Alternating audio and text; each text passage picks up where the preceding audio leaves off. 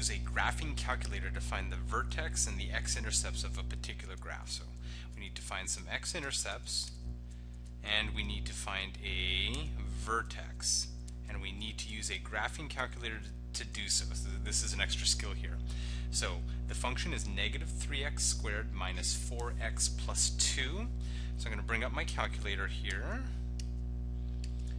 and hopefully we'll be able to see the graph here nicely. So I'm going to turn on the calculator, and you can see enough on here, I hope, to be able to tell which buttons I'm pressing. I'm going to press y equals, type in negative 3x squared, and then minus 4x, and then plus 2, and then I'm just going to zoom this on the standard window. So hopefully we'll see the graph over here. Yeah, we can see the graph.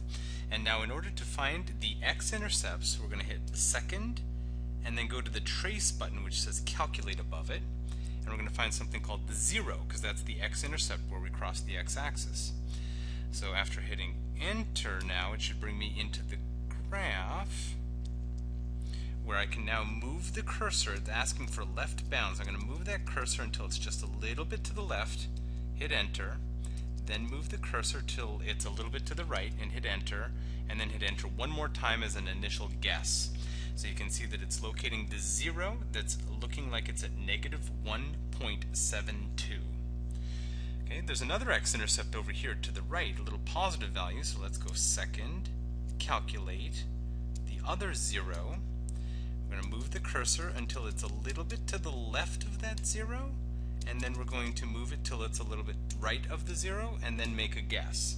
And we can see that that zero is located at 0.387 or 0.39.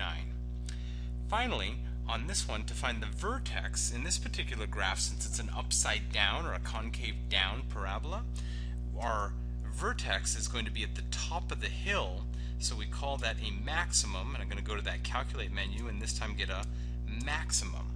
So in order to calculate the maximum, we select maximum, move the cursor till it's a little bit to the left of the maximum, and then move the cursor till it's a little bit to the right of the maximum, and then make an initial guess, and it zooms in on negative 0.67, comma 3.33. So that means our final answers were the x-intercepts were located at negative 1.72 and at 0.39 and the vertex was located at negative 0.67 comma 3.33. One thing to note is that our parabola happened to be a downward facing parabola. If it were an upward facing parabola, concave up, we wouldn't be finding a maximum, we would be finding a minimum. But in either case, once you draw the sketch, you can tell from your picture whether it's a minimum or a maximum based on the concavity of your graph.